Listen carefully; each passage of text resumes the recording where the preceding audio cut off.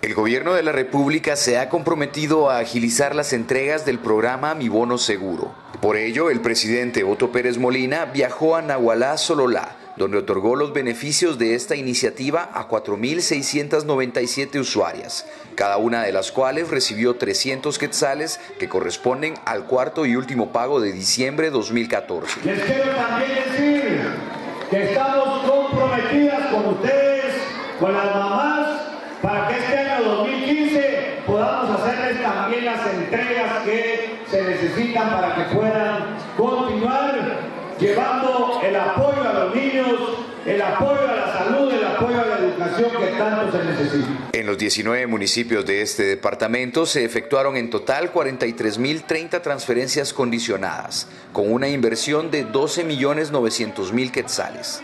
Además, el mandatario también realizó el acto de otorgamiento de 985 becas seguras a igual número de estudiantes. Para DCATV informó Carlos Alonso.